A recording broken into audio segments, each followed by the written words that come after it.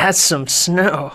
Lloyd, Did someone just call my name?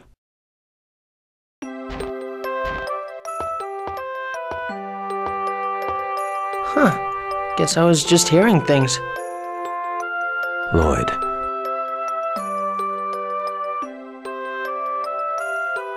Did you know I was your son the whole time? I realized it when I found Anna's grave at your house. How did Mom die? You know, don't you? Like Presea, Anna was a research subject of the Angelus Project. They were trying to create a Cruxis crystal inside her body. When I learned of Mithos' plan to create an age of lifeless beings, I turned against him and descended upon this land, where I met Anna. So Mom was an experimental subject, just like Presea. After meeting Anna, I realized my mistake in believing that accepting Mithos' vision would be the fastest route to reunite the worlds. I began to search for a way for a human to wield the Eternal Sword. So you can unite the worlds. Yes. However, Anna and I were pursued by Cruxis.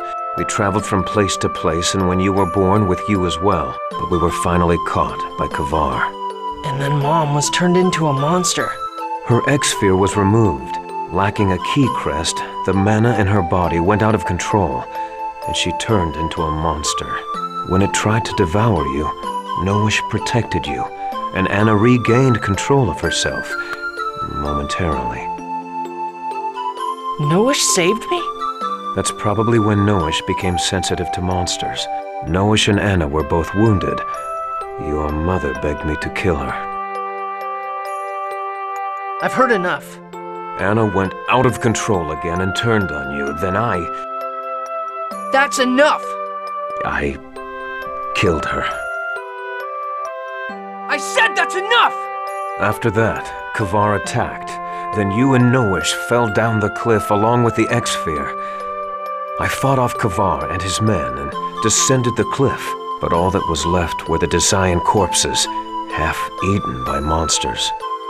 I thought there was no way you could still be alive. Is that when you returned to Cruxis? I am the origin seal itself. Since killing me would break the seal, Yggdrasill couldn't just leave me alone. And you were okay with that? Even though you opposed what he was doing? Everything felt meaningless. Mithos said he would reunite the worlds as soon as Martel was revived.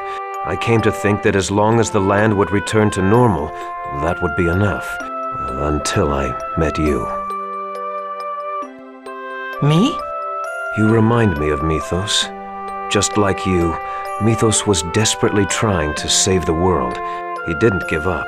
No matter how much he was oppressed, he was hopeful. Until the day Martel was killed. A hero. That's what people call him. Yes, but there is a clear difference between you and Mithos. Our race? No, not that. You realize that you are capable of making mistakes. Or rather, if you make a mistake, you are capable of acknowledging it. That takes courage. Mithos, as well as I, were unable to do that. The courage to acknowledge one's mistakes.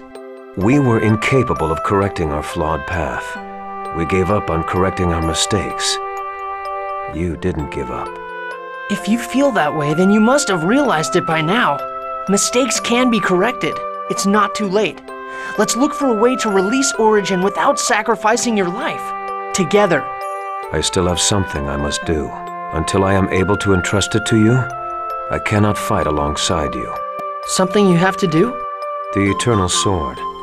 Until I am able to entrust it to you, do not die, Lloyd. Kratos, where are you going? Do not allow Yggdrasill to continue as he pleases. He is capable of sacrificing any number of lives. Stop Yggdrasill, stop Mithos, before Colette is taken from you again. I'll stop him. I'll head to Derris-Kharlan and put an end to this.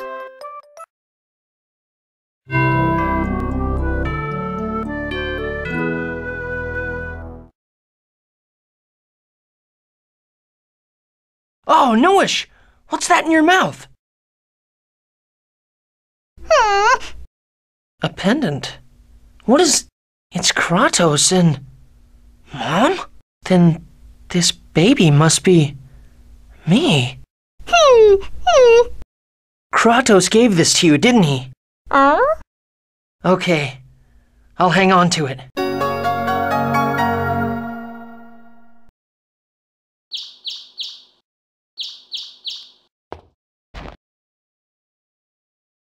Guys, how's Altessa? Well, he managed to pull through. Some dudes from Mizuho were hanging out there to guard him, so everything is alright. Good. I need to speak with everyone. The world is never gonna change if we just wait for Cruxis to make the next move, right? So this time, we're going to strike them first. Well, so you're finally ready to do it. We're gonna raid Cruxis. Yeah, I have two objectives prevent the establishment of Mithos' new age and release Origin. But if you release Origin, what about Kratos? I don't really know yet. We don't know for certain that he'll actually die. We also don't know if he'll side with us or not. We don't have the time to worry about things we're not sure of. What do you intend to do about the Eternal Sword? Even if you break Origin's seal, you can't wield it, remember? And I doubt either Genis or I would be able to handle a sword. Don't worry about that. I've got it covered. What are you talking about? Why do you think I can use magic swords? I received magic injections with the latest in Tethe'alla technology. In other words, I'm a human with elven blood in me. That should work, shouldn't it? Then I guess this will be the final battle. Understood. Let us end this. For the sake of uniting the worlds. Yeah. I'll do my best too. Colette, I need you to stay behind. Why? They want you as Martel's vessel. We'll have either Mizuho or the Renegades hide you. If that's what you want. No, I'm going too. But I get it. You don't think you can protect her. That is so sad. what did you say? Don't worry, Colette. I, the great Zelos, swear to protect you. Zelos! Take her along, Lloyd. They're gonna be after her no matter where she is. You ought to know that by now. Be a man, show her what you're made of. Wow, we actually have the same opinion for once. Sorry, Lloyd, but I agree with Zelos this time. All right. Colette will come with us, okay? Thank you, Lloyd. And everyone else, too. Does Tethe'alla really have a technology like that? It sure does, for some weird reason. All right, let's go kick some Cruxis butt, Lloyd. Zelos, can I really trust you?